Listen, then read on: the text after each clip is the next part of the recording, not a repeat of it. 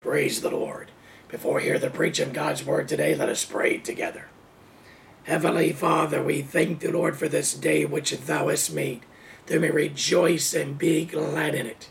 And as thou art our shepherd, we shall not want. We thank the Lord for giving us this day our daily bread, as man shall not live by bread alone, but by every word which proceedeth out of thy mouth. As thy word, O Lord, is truth, we pray those even sanctify us with thy truth. In Jesus' name we pray. Amen. Praise the Lord.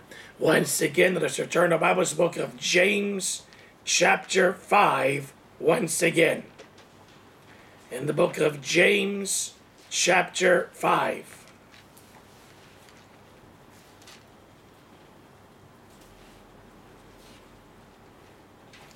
Beginning in verse 14, once again, that is written, Is any sick among you? Once again, we live in a world that is cursed. The world lieth under wickedness, the Bible says. The world passeth away and the lust thereof. Christ says that though we're in this world, we're no longer part of this world. So why are we in this world for? To be lights shining in this world, to be witnesses unto Christ. For the Lord is not slack concerning his promise, the promise of his coming, as some men count slackness, but is long suffering to usward, not willing that any should perish, but that all should come to repentance. We see the signs of the times. We know the day of the Lord draweth nigh. Christ is coming again, the same way that he went away, and like manner she also come again, in a day and hour that no man knoweth, save the Father which is in heaven. But each and every day the Lord tarries is because of his long suffering. Why does the Lord tarry? Why is the Lord not slack concerning his promises? Some men call slackness. Why is it seen the Lord is tarrying for? Because the Lord is not willing for any to perish, but that all should come to repentance. And all around us, souls are perishing. Therefore, in this world, this world that's full of pestilences, this world that's full of trials and tribulations, wars and rumors of wars, and perplexity of nations. The Lord has us in this world to be witnesses unto Christ. The Lord has us in this world for souls to be saved. And it is each and every day as the Lord tarries we're to be in the will of God, to obey Christ's great commission, to go into the world and to preach the gospel to every creature, for neither is there salvation in any other. For there is none other name under heaven given among men whereby we must be saved. But while we're in this world for a reason, for souls to be saved, we're promised by the Lord Jesus Christ we shall experience what? In this world ye shall have tribulation. And one of the tribulations we're going to have in this world is we're going to get sick. Even in the, book of Philippians, chapter 2, we read of a man named Epaphroditus who was sick nigh unto death. And why was he sick? For the work of the ministry in this world in which we serve the Lord, in which we give it 100% wholly to the Lord, we're going to push our bodies like Epaphroditus and be sick and even sick nigh unto death. And how was it Epaphroditus was healed? Because the apostle prayed for him and gave thanks to the Lord for what? For the Lord's mercy. Not just only upon Epaphroditus, but upon the apostle himself. It was not the faith of the apostle, it was not some kind of special power the apostle had. It was all because of the mercies of the Lord. Once again, in order to get answer to prayer, we must have faith. And where must we have faith? Mark 11 22, have faith in God. And who is God? First John chapter 4, verse 8, he that loveth not knoweth not God, for God is love. To have faith in God, you must have faith in God's love. And what does God answer our prayers for? Because we're somebody special? Because we've got some special title? No.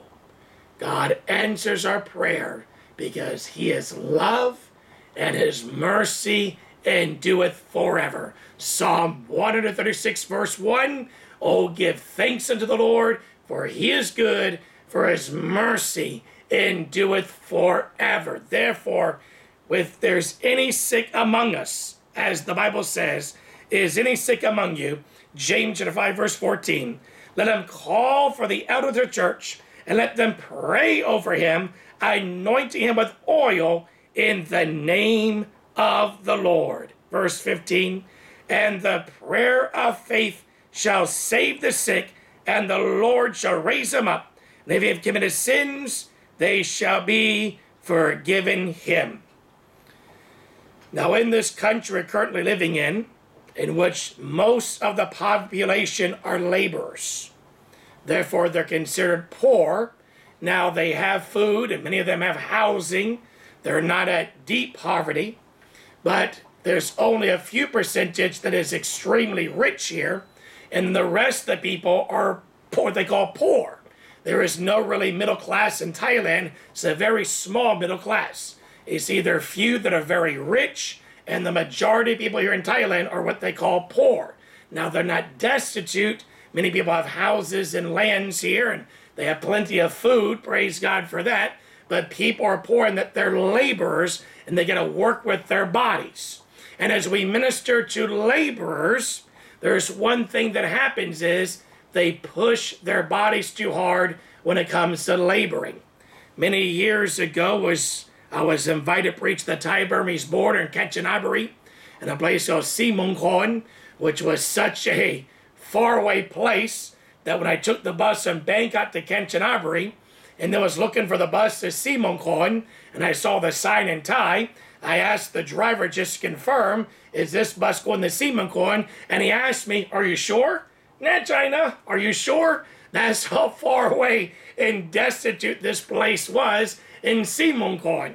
And in this area, Simongkon on the Thai Burmese border, most of you working in the sugarcane fields. And they're doing slash and burn farming in those very unhealthy place to go to.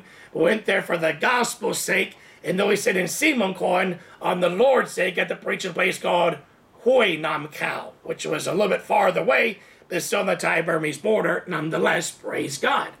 And as I was staying there with a, a Karen man who lived in America now, was once a refugee here in Thailand, and we knew each other 20 years ago. As we're watching the laborers slashing the sugar canes, which they're going to burn, he was telling about when he first went to America, all the refugees had to go to school. And they all were excited thinking they're going to go to a school to learn English. No, that's not the school they went to for. They went to a school to teach them how to pick things up, how to lift things. Because you see, in this part of the world, they don't know how to lift, they don't know really how to labor.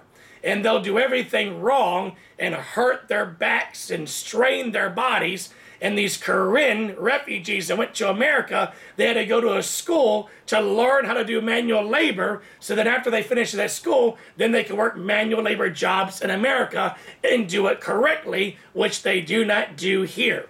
So we minister amongst the laborers. What we have learned is many of them, even professing Christians, are alcoholics. Now, here in Thailand, there's different kinds of alcohol. There's some alcohol called whiskey. There's some alcohol called moonshine. And there's some alcohol they actually call a medicine. Ya dong. They actually call it a medicine. And all around Thailand and all the little mom and pop shops and even little street vendors have this thing called yadong. Is that how I say it? Am I saying it correctly? And it's uh, it's almost homemade. It's not up to uh, a code. is not up to the FDA approval, and it's really strong, and they consider it medicine. And it's such strong alcohol, what it does is it numbs the laborers' bodies because they're in such pain after so many years of pushing their bodies and working so hard. They're in so much bodily pain. They have pulled muscles, they have strained vertebrae. Their back is out of line. Their legs are messed. Everything's messed up in their bodies. They can't sleep at night. So they drink this very strong alcoholic drink, which they actually call a medicine. And they drink that. It's so strong, it numbs their bodies. And then they're able to sleep. Many laborers will tell me that if they don't drink that, not only can they not sleep, they'll have fevers because their bodies are so out of whack and so messed up, they'll have fevers. And they have to drink this every night just to be able to sleep and just to be able to survive. And then we praise God that back in 1993, I learned the art of myotherapy or trigger point therapy. And for many years, I tried not to do it. But then, praise God, I've learned this is how we get the laborers off of the alcohol and the drugs they're on by taking care of their physical bodies. And in James chapter 5, verse 14, which it is written, Is any sick among you? Let them call for the elders of the church and let them pray over him, anoint him with oil in the name of the Lord. What we have learned in going back through church history and reading the early church writings when they anointed people with oil, this was actually a way to physically heal people. They used olive oil back then as a medicine to apply to the places where people were sick. Just like today, we may use balms and things such as that to help the physical process. What this shows us is we must use the supernatural and the natural together. Because a lot of times you're praying for somebody, and as God is a God of sowing and reaping, and they've been sowing to the flesh so long, especially with the laborers, and they destroyed their bodies so bad in their laboring work, God doesn't do magic. He doesn't just heal their bodies like that. They've got to take care of their bodies. And then many laborers, like I've testified about before, will drink this strong alcoholic beverage, and then you pray for them to be healed in their physical bodies but their livers are destroyed. Their stomach area, and stomach is more just stomach, it's the intestines, the pancreas, the bladder, the liver, because the alcohol they're drinking, it has destroyed their different organs in the abdomen area. And they have all kinds of serious problems because of that, and God doesn't do magic. They've got to get off those kind of things. Many years ago, a man came to me I guess he knew me through other Christians. He wanted me to take him to the doctors. He met me downstairs at this building early in the morning. Went downstairs to meet him. He was trying to buy something from the motorbike taxi driver, most likely illegal drugs. When he saw me come downstairs, he turned around and walked into the wall and put his nose into the wall. And the motorbike tax driver who knew me, a preacher of the gospel, and saw that I was with this guy, he began mocking him, saying, You don't want it? You don't want it? You don't, are you sure you don't want it? And the man, the professing Christian, kept his nose in the wall, trying to hide in this wall. He was trying to buy drugs. Many of the laborers know they're addicted to alcohol, they're addicted to amphetamines or methamphetamines, whatever the difference is here. Before they used to buy these drugs the pharmacies, now that they buy them through motorbike taxi drivers and people that would deal those drugs, as it's now illegal. It's so illegal that people lose their minds and lose their souls, of course. And this professing Christian, I guess, he needed some energy and was going to try to buy some of these amphetamine pills to give him some energy, but I came down too soon and almost caught him in the deal. Well, the motorbike driver was laughing and drove off. Then I take this man to the hospital. And because he was very slow and he thought he was actually moving fast, and I guess because of his addiction to drugs, he didn't get any that day, was moving extra slow. What he did the hospital was he pulled out of his bag what's called yadong and took a swig of that, put it back in his bag, got some water, cleaned his mouth out, and he thought nobody could see him. That's the problem with drug addicts. That's the problem with those people that are on drugs. What they remind me of is somebody trying to break in your house in the daytime. Could you imagine in the broad daylight, somebody dressed in black sneaking in your window and crawling on your floor? You, what is this guy doing? What does this guy think he's doing? That's drug addicts. They think you don't know, but it's so obvious. They're so obvious with it. Everybody sees it. Everybody knows. And this poor guy, not only did I see it, the whole hospital saw it. They saw me with the Bible taking care of him, and they almost felt sorry for me having to take care of this guy. And of course, when he sees the doctor, and the doctor was telling him, you got to take care of your body, you got to stop drinking alcohol, you got to start taking care of your body. He didn't want to hear that. He wanted some magic done to him. And then brought him back here to our room and set him down, asked him what his problem was. And eventually he confessed. For many decades of his life, he used to have to carry rice, sacks full of rice. That used to be his job. He used to do it incorrectly. And as we talked about using the body correctly, it all made sense to him because he used to wonder why they can never pick a vehicle up front ways, but if you're on backwards, they can lift the vehicle up easily because they're keeping their back straight using their legs. He just learned that. Decades he'd been carrying rice sacks wrong. It destroyed his back. I began working on his back through trigger point therapy or myotherapy. His back was completely out. He was in so much pain, and we had to tell him, you've got to take care of your body. There's things that you have to do and take care of your body. He didn't want to hear that. Never heard from him again. Once again, God is a God of sowing and reaping. God does not do magic. In the Bible, the Bible is against superstitions. Acts chapter 17.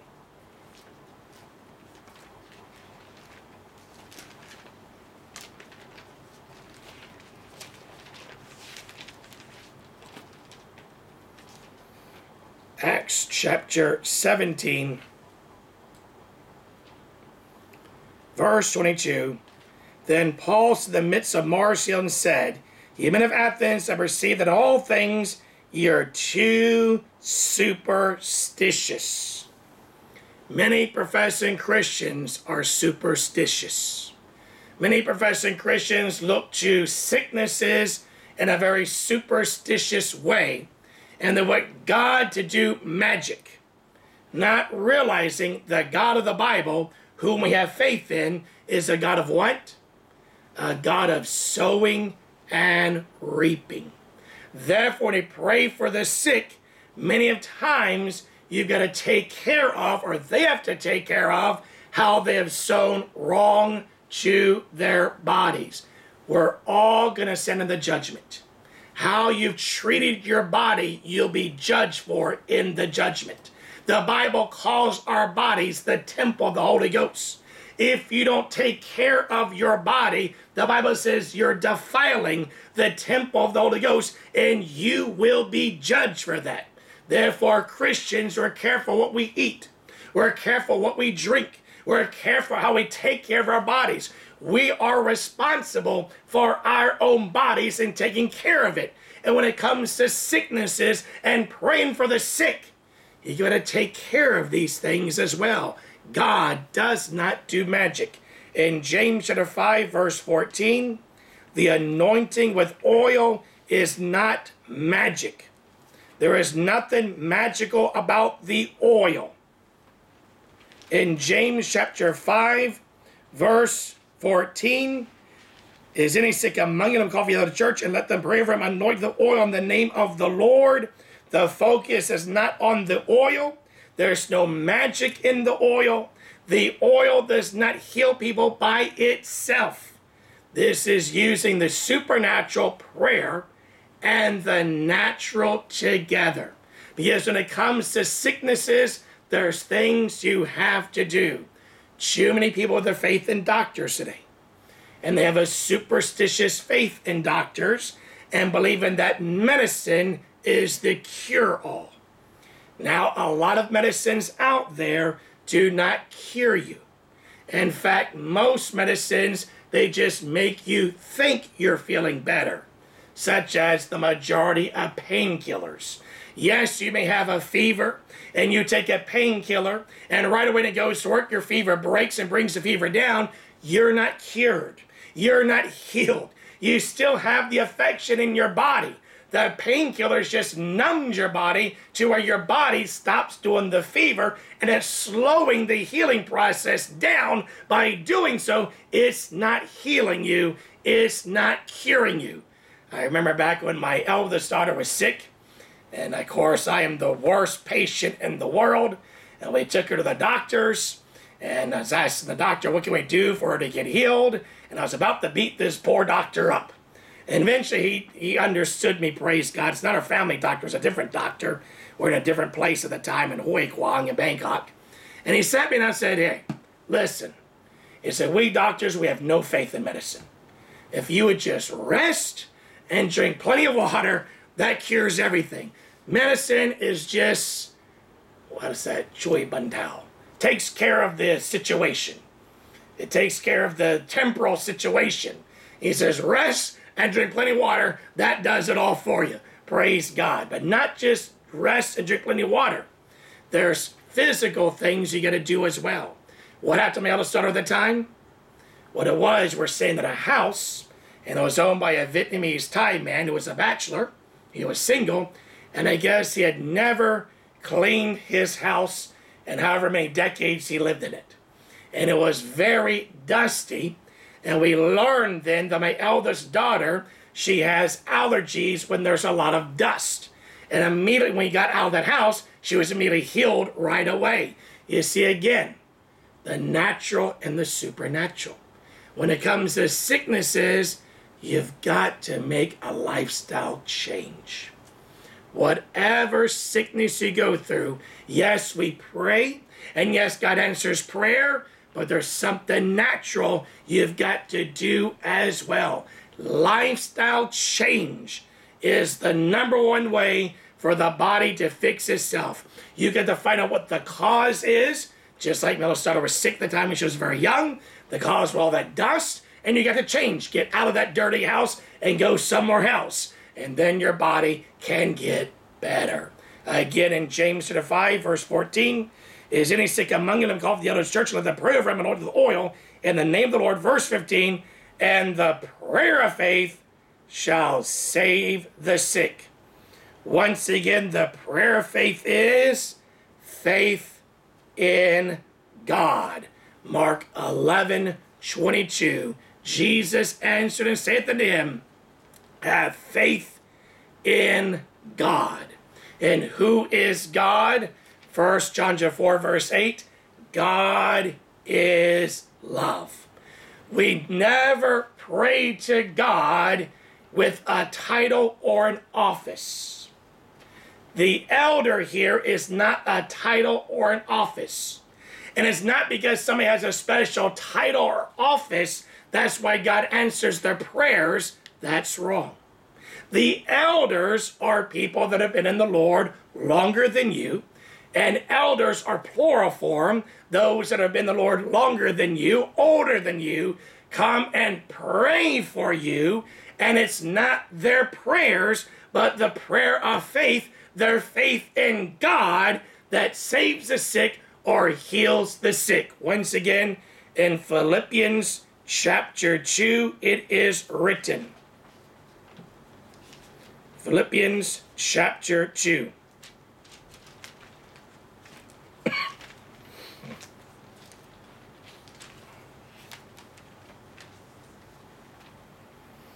Verse 25, yet I suppose it necessary to send you Epaphroditus, my brother, companion labor, and fellow soldier, but your messenger, and he that ministered to me once for he longed after you all, was full of heaviness, because he had heard that he had been sick. For indeed he was sick nigh to death, but God had mercy on him, and not on him only, but on me also, lest I have sorrow upon sorrow. I said him therefore the more carefully, that when you see him again, you may rejoice, and that I may be the less sorrowful. Receive him therefore in the Lord with all gladness, and hold such in reputation, because for the work of Christ he was nigh to death, not regarding his life to supply your lack of service toward me. Why was he sick? Because of the work of Christ. And he was so sick, he was sick nigh to death. The apostle did not have special powers to heal him. The apostle did not come to the Lord in the title or office of apostle, and now God has to answer his prayers because he's an apostle. That's not how he got healed.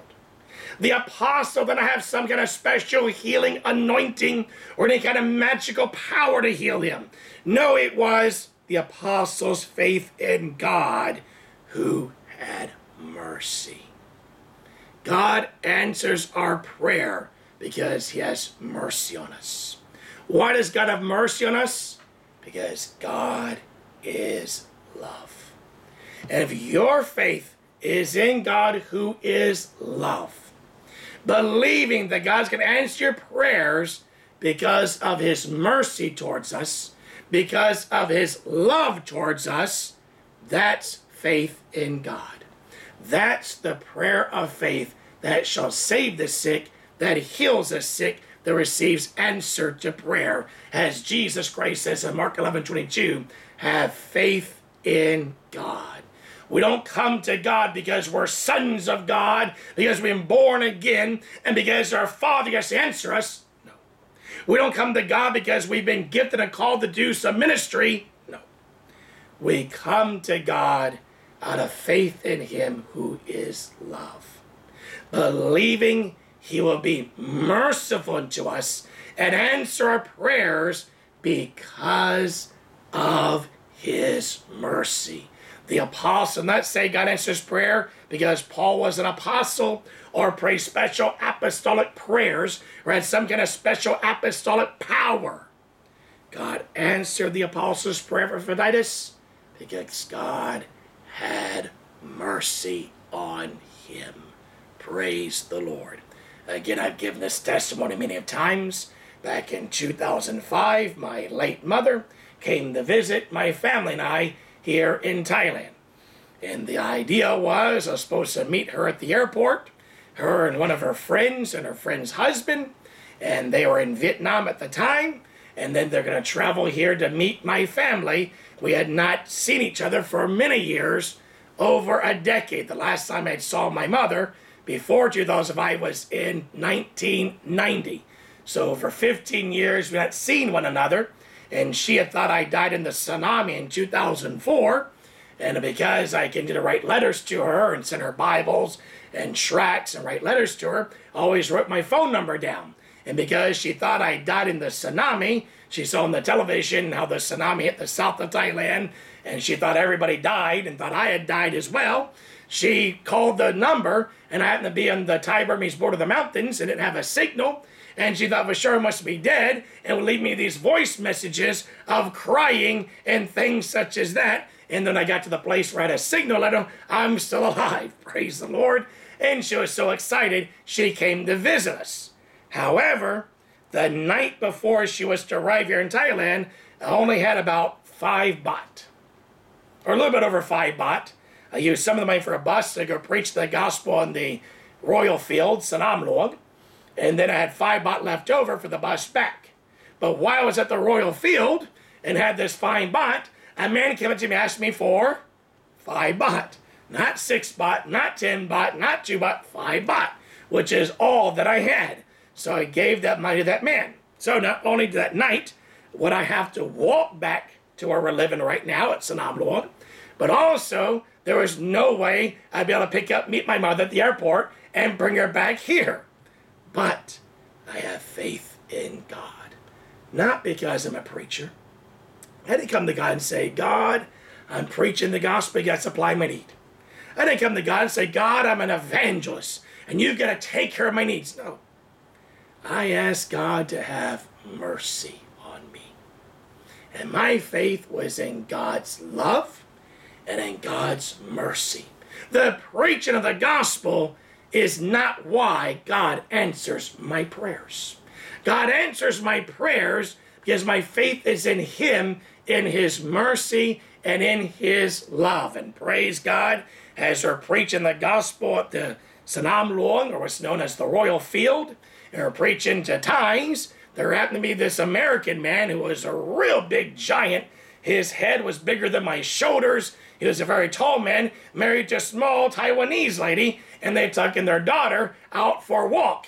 And they happened to see us preaching the gospel. They're preaching the Thai tongue. And while he saw us preaching the gospel, the Lord led him to give me a blessing, which not only brought, us, brought me back here that night, but was enough money for me to get to the airport the next day to meet my mother as well. And again, it was not because I was preaching the gospel. It was not because I'm an evangelist, God answered my prayers. It's because my faith was in God who is love. James chapter 5. Once again, what kind of prayer saves or heals the sick? In James chapter 5, verse 15, that is written, And the prayer of faith shall save the sick. Where is our faith? Our faith is in God. Who is God? God is love. It's because of God's love and God's mercy is why God answers our prayer. This is why so many do not receive healing in the church today because of false teachings. Some believe you gotta have faith in faith, meaning you gotta have enough faith. Do you have enough faith to be healed? You gotta have faith in faith. Some believe you gotta have faith in special people or special anointings or special callings or special powers or call the right people or say the right words. But in actuality, you gotta have faith in God. And too many professing Christians today do not know God.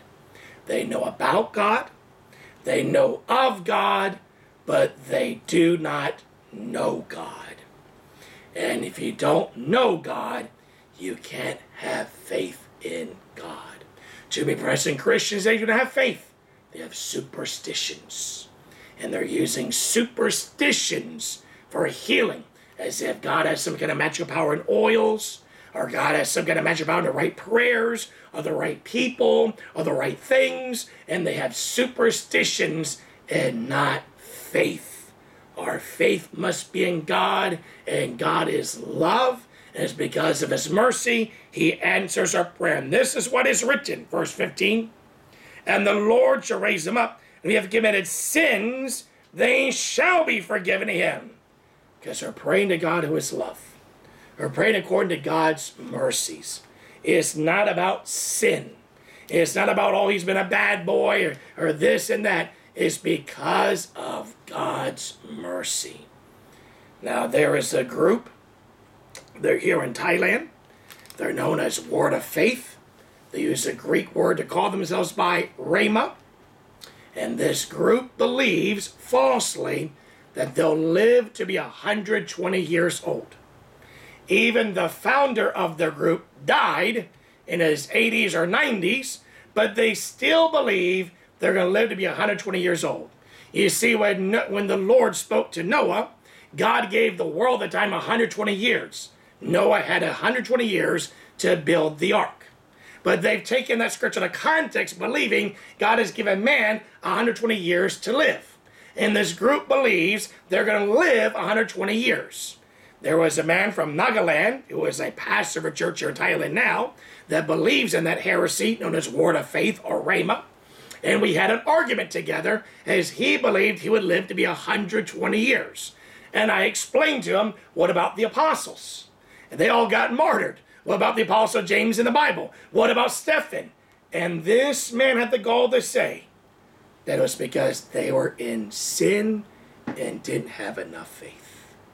Can you believe that? Can you believe there's people like that that think they know more than the apostles, or have more faith than the apostles? And after that, needless to say, we had no more fellowship together and didn't really talk to each other after that again because he is a heretic and that is a heresy.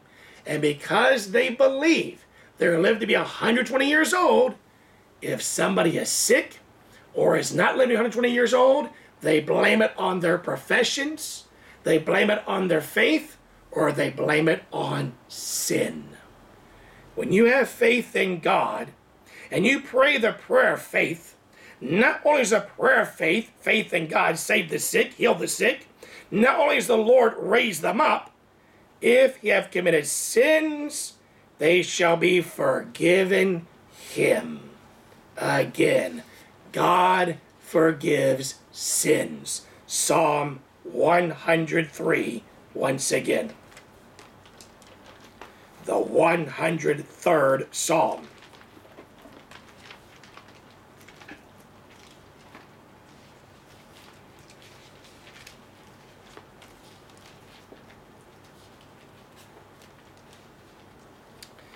Verse 1 Bless the Lord, O my soul, and all that is within me. Bless his holy name.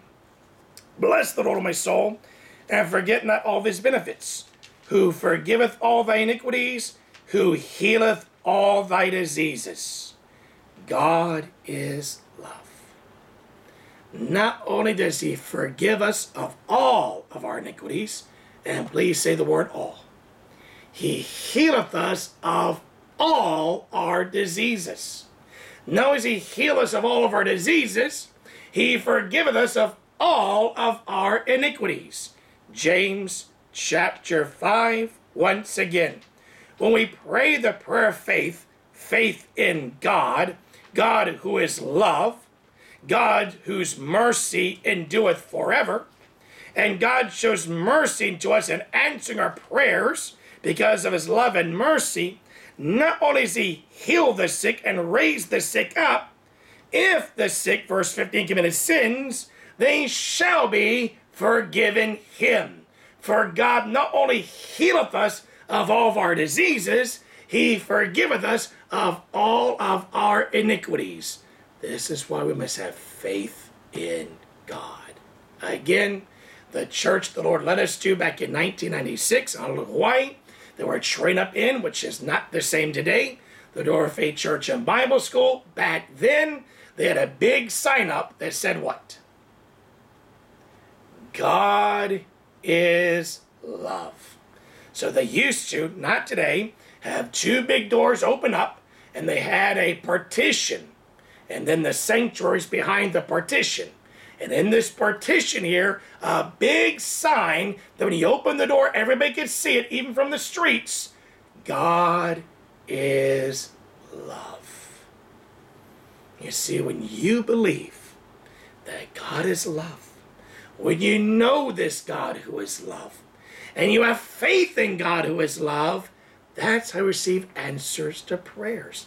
And back then, that church was known for raising the dead. That church was known for signs, wonders, and miracles. Not because they had any special powers, not because any kind of special anointings, it's because they had faith in God, and God is love. And because God is love, not only does the Lord raise up the sick, He also forgives us of all of our iniquities. He forgives us of all of our sins. If he commits sins, they shall be forgiven him. Confess your faults one to another, pray one for another, that ye may be healed. The effectual, fervent prayer of who? Of a righteous man availeth much. Now, in Isaiah chapter 64, it is written,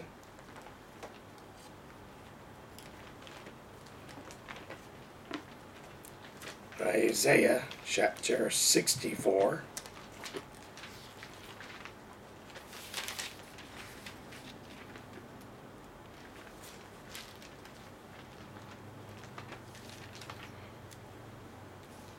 Verse 6. We are all as an unclean thing, and all our, now make sure to focus on the word our, O U R. All our righteousness are as what? Filthy rags. We all do fade as a leaf, and our iniquities, like the wind, have taken us away. Our righteousness cannot save us. Our righteousness, said of God, is filthy rags.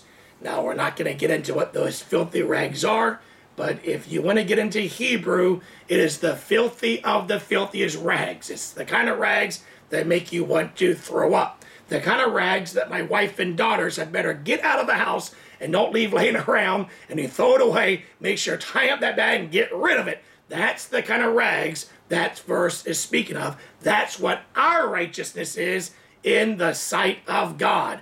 Our righteousness cannot save us. Before I was born again, I thought I was a good person because I knew people worse than me. And before I was born again, I thought and people exalted me for having a girlfriend for three years. We lived together. We were not married, and people exalted me for that. What a good guy. That guy is, he's a good man. Back before born again, we go to see fortune tellers as we used to be heathens. And the fortune tellers would tell my wife, You've got a good man. Stay with that man. He's a really good man. And you see, because I came from divorce and remarriage, as my earthly father had divorced many of times, my mother had been divorced many of times. I thought if I never got married, I could outdo them and just stay faithful to my girlfriend without being married, thinking I was better than this godly institution of marriage that God created. I thought I was better than everybody else, and people exalted me what a good person I was. I used to drink alcohol, but not all the time. People thought, wow, he's good, because I had what's called structured discipline. I wouldn't drink all the time. When I had boxing matches, I'd stay sober. I wouldn't touch that stuff. And after my fights were through, I'd take a few days off and get drunk. And then after that, stop, get back in the gym, work out again. What a good guy.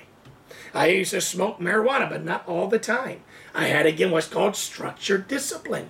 And people, wow, he's good. He doesn't get stoned all the time, only every once in a while. Only when I had the times to do that and focus on my duty of being a boxer and being disciplined. And people gave me the thumbs up and thought I was a good guy.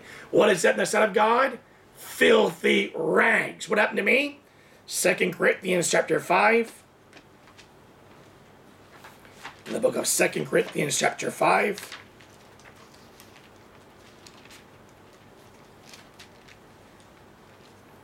Verse 21.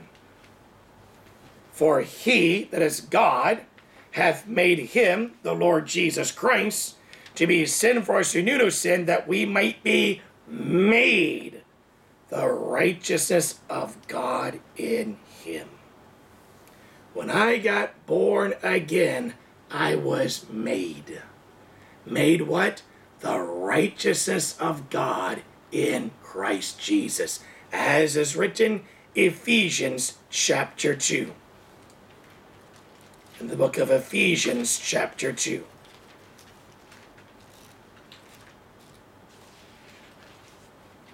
Once again in verse 8 For by grace are you saved through faith, and that not of yourselves. It is the gift of God that of works as a man should boast. Verse 10 For we are his workmanship created or made in Christ Jesus unto good works, which God before ordained that we should walk in them. In Christ, we are made into the righteousness of God. In Christ, we are created in Christ Jesus unto good works. What happens when we're born again? We enter into the New Testament the new covenant, which is Hebrews chapter 8. Hebrews chapter 8.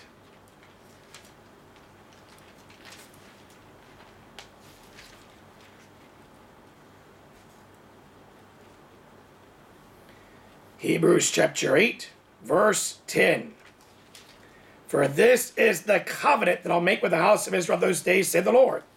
I will put my laws into their minds and write them in their hearts, and I'll be them a God, and they shall be to me a people. And they shall not teach every man his neighbor, and every man his brother, saying, Know the Lord, for all shall know me from the least to the greatest. For I'll be merciful their unrighteousness, and their sins and iniquities are remember no more.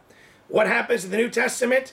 God writes his laws in our minds and in our hearts. In Christ, we are made, created into God's righteousness. In Christ we're created unto good works. Second, that's Second Corinthians chapter 5, verse 17. In short, it is written, Therefore, if any man be in Christ, he is a what? He is a new creature. Old things are passed away. Behold, all things are become new. Therefore, in me by grace, he is a new creature. Old things are passed away, all things are become new. How we made us new creatures? We're created in Christ unto good works. How we made a new creatures? Because in Christ we're made the righteousness of God in Him. How does that happen? Because the love of God, Romans 5 5, hath been shed abroad in the hearts, the Holy Ghost given to us. God has written His laws in our hearts. God has written His laws in our minds. We are created into good works. We're made into the righteousness of God. This is the righteousness that pleases God. Before I was born again, I was a proud fornicator. I was exalted by the world. I had structured discipline when it came to alcohol and when it came to drugs. I was exalted. He is good. Oh, man, he's a good guy. But after I was born again, I found out all that was going to damn me to hell. Though I wouldn't drink all the time, I was still a drunkard in the Son of God, and drunkards shall not inherit the kingdom of God. Though I wasn't doing drugs all the time, I was still doing nonetheless, and God calls that witchcraft, and they that do that shall not inherit the kingdom of God. Though I was in love with my girlfriend, because we're not married together, the Bible calls that fornication. And that God said I was a fornicator on my way to hell. All my righteousness before I was born again was but filthy rags in the Son of God. Those things that people exalted me for, those things that people said made me a good man, were actually the things that are going to damn my soul to hell. But when I got born again, what happened to me back in July 24th, 1985, 27 years ago? We just celebrated last week. What happened to me?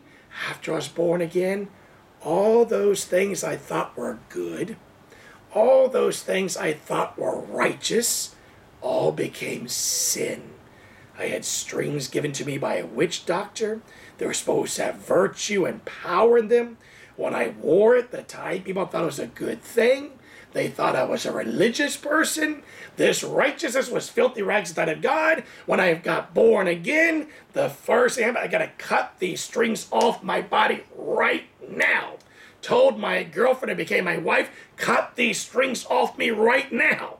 As she cut those strings off me, this that I used to think was righteous, this that I used to think was good, it felt like chains had come off me. I felt free now. I lifted my hands in the air and looked at my shrine I had up on the wall, filled with idols and amulets and all these things I collected, people had given to me as gifts. These were considered good things before. When people came in a room and saw that, oh, he is a good man.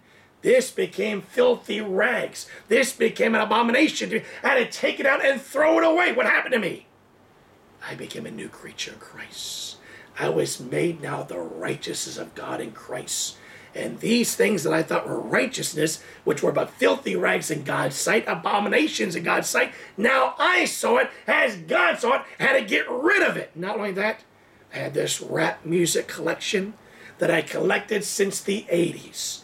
Music that glorified killing, music that glorified fornication, music that glorified drugs, music that glorified sin. I used to listen to it religiously over the whole collection of it. I knew now how to get rid of that, throw it away. Not only that, I had Hollywood movies. And those Hollywood movies have ungodly themes in them. They are of the devil. And I had to get rid of those VHS movies and throw them away. Not only that, that very day, I was a good friend. If I was your friend back then, and you needed somebody to back you up in a fight, you could call me anytime. I wouldn't ask any question. I'd beat up whoever wanted me beat up.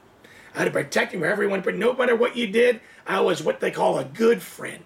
I was somebody you could rely upon, somebody you could call upon. But friendship of the world is enmity with God. Because of those friends of the world, I did bad things. Again, what the world exalted was filthy rags in God's sight. And I got convicted about these worldly friends and called them up one by one and told them, I can no longer be your friend. In their sight, I was now a bad guy. What happened? What I do? What's wrong with you? I'm now a Christian. If you want to be my friend, you got to come to church. You're not going to come to church. We can't be friends no more.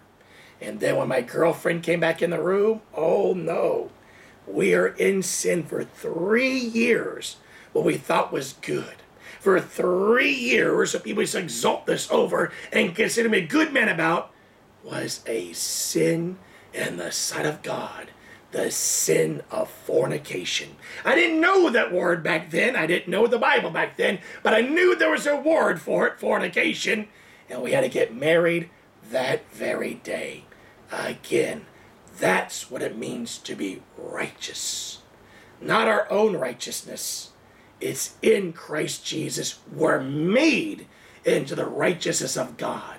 For once we're saved by grace through faith and not of ourselves. It is a gift that God knows his name should boast. In Christ we are God's workmanship, created unto good works in Christ Jesus. For God hath made him to be sin for us who knew no sin, that we might be made the righteousness of God in him, in Christ. When we're born again, when we're new creatures in Christ, when we're made into the righteous of God in Christ, when God writes his laws in our minds and our hearts, when we're born again in this New Testament, in this new covenant, that's what it means to be righteous. The righteousness of God, not our own righteousness. We don't do it. We can't do it. That's how my wife got born again. She knew I cannot change myself. She knew me very well. But she, when I told her I was become a Christian, I'm a Christian now. I believe in Jesus. She remembered when she went to church as a teenager, one time back when she was 14 years old, and she remembered they testified how God changed their lives in Christ Jesus. She said to the Lord, If you can change this man, because she knew I couldn't change myself. If you can change this man like you changed those Christians, I will believe. And that's how my wife became a believer in Jesus Christ because she saw what God did to those Christians that she saw when she was a teenager. God did for me. I did not do it. I did not change myself. God changed me. I was born again, made into the righteousness of God in Christ Jesus. And that kind of person, that righteous man, prayers avail much. Not our own righteousness, not our own good works, the righteousness that God makes us into. Righteousness is not a standing. Again, in this heresy called the Word of Faith or Rhema, they falsely teach that righteousness is a standing. It's not an actual work, it's a standing and they teach that when you get into Christ, you're automatically righteous in God's sight. There's others that teach, they'll take a piece of paper and they'll say, This is you and your sins, and they'll put in the Bible and close it. God didn't see you, He sees Jesus' righteousness. And no matter how it is you're living, no matter how much of a sinner you are, God didn't see your sins, He sees Jesus. They actually teach that in churches. That's wrong. No. God makes us righteous in Christ Jesus. God creates us in Christ Jesus unto good works. God writes his laws in our hearts and in our minds. In Christ, we become new creatures. This is what it means to be born again. And when you're born again, made, created, made into the righteousness of God in Christ Jesus, those are the prayers that avail much. And we take no glory for answers to our prayers because it has nothing to do with us or our own righteousness. It has to do with the Lord. As it is written, Acts chapter 3. When a lame man was healed, the apostle Peter preached. And he preached very clearly here in the Word of God Acts chapter 3, verse 12. After this lame man was healed, crowds gathered around, and when Peter saw it, the multitude gathered around, He answered the people, Ye men of Israel, why marvel ye at this? Why look ye so earnestly on us, as though by our own powerfulness we had made this man to walk? See the Peter saying, it wasn't by his own power, and it wasn't by his own holiness. The God of Abraham and of Isaac and Jacob, the God of fathers, hath glorified his son Jesus, whom delivered and denied the presence of Pilate when he was determined, let him go. But you denied the Holy One, the just that of murder be granted to you, and killed the Prince of Life, whom God the raised from the dead, wherever witnesses. Verse 16, and his name, through faith in his name, hath made this man strong, whom ye see no, yea, the faith which is by him hath given him this perfect soundness and the presence of you all. It was not the apostle's righteousness. It was not the apostle being an apostle that healed him. It was because of God. And that's why we give God all the glory when He answers our prayers. The reason why we can be righteous is because of God and the power of the new covenant, the New Testament, the power of the new birth. And because our righteousness is because of God, to Him and Him alone be all the glory. Psalm 136, verse 1. Oh, give thanks unto the Lord, for he is good, for his mercy endureth forever. God has made us to be righteous in Christ Jesus. We are his workmanship, created to good works in Christ Jesus. In Christ we're made into new creatures. The old things are passed away. Behold, all things are become new. For God has written this law in our hearts and our minds. And as we're now the righteous of God in Christ Jesus, our prayers can avail much. And to God and God alone be all the glory. Let us pray. Heavenly Father, we thank thee for thy faithfulness. We thank thee, thy word is truth.